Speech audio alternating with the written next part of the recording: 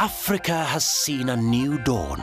Industries, farms, and trade are blossoming. But do they have the right skills? We're trying to diversify. Education? I train the educators themselves. And machinery? There's a lot of positivity around. Will the continent shake off historical shackles? Government should create an enabling environment for good practices. Africa's Time, Wednesdays at 7.30 p.m.